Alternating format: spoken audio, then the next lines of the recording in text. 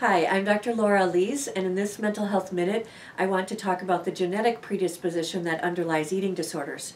The Academy of Eating Disorders evaluated the scientific data on eating disorders and in 2009 determined that eating disorders should be classified as biologically based mental illnesses.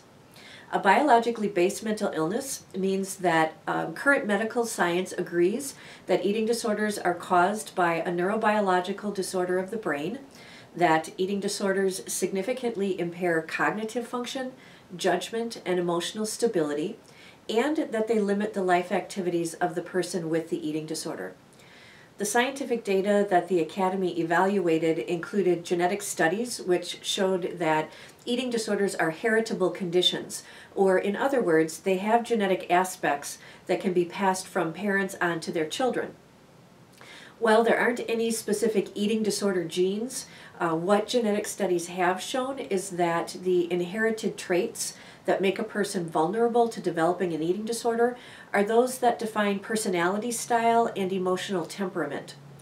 There are certain uh, personality characteristics that increase a person's risk of developing an eating disorder, and they include things like being perfectionistic and having more obsessive compulsive like tendencies, not liking change and preferring predictability, order, and routine preferring to conform, um, to please others, and to play it safe rather than to take risks, having black and white or either or thinking, and being very emotionally sensitive but not liking to deal with feelings. These traits are remarkably consistent among those who have eating disorders. Uh, they're usually evident prior to the onset of the eating disorder.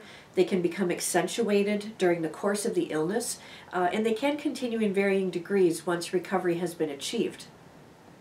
Having these traits does not mean that an eating disorder is inevitable, uh, just that there's an increased risk when other environmental factors combine to enhance the genetic vulnerabilities. The saying is that genes load the gun and environment pulls the trigger. So the cumulative effect of normal life stressors or even experiencing a traumatic event on top of the genetic vulnerability can be enough to turn a diet into an eating disorder. For more information on the genetic basis of eating disorders, please visit my website at eatingdisordersmilwaukee.com and thanks for watching this Mental Health Minute.